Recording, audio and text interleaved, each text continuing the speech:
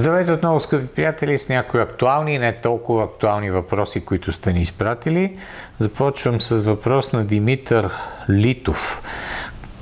Въпросът е свързан с състезанието на Имула и не беше ли редно Луис Хамилтън да получи някакво наказание за това, че в крайна сметка след като загуби контрол над автомобила си мина през зоната за сигурност, след това на заден ход се върна през чакъла и продължи участието си в състезанието. Да, тази тема беше доста коментирана в крайна сметка, защото движението на заден ход по принцип на пистите във Формула 1 не е разрешена практика, но в крайна сметка има детайли в самото събитие, на които трябва да обърнем внимание. Значи, първо той не се движеше по пистата, се движеше в зоната за сигурност и за тази част от така, периферията около трасето няма някакво специално изискване. Има специално изискване, например, че пилотите нямат право да се движат на заден ход в пита.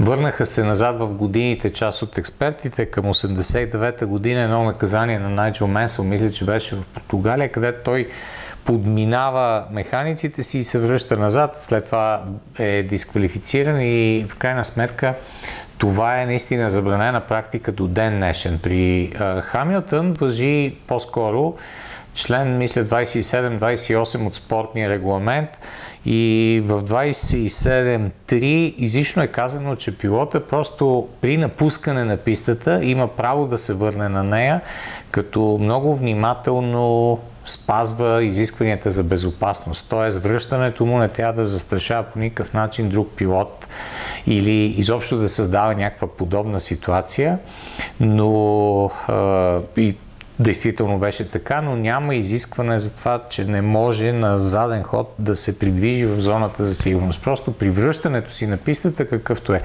случая, трябва да внимава много да не създаде някаква конфликтна ситуация. Тъй, че няма никакви основания за а, така, реално разглеждане изобщо на тези събития.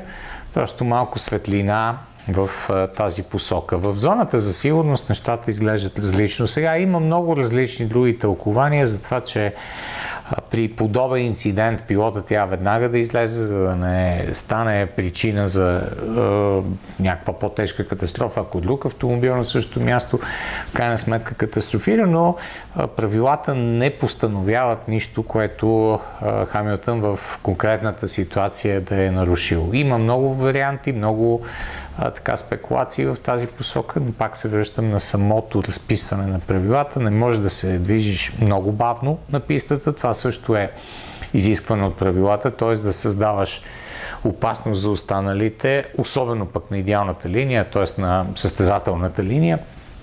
Това също го има като изискване, но няма никъде постановление, че в зоната за сигурност си задължен да се движиш единствено и само направо. Благодаря за въпроса. Ще бъдем отново заедно скоро.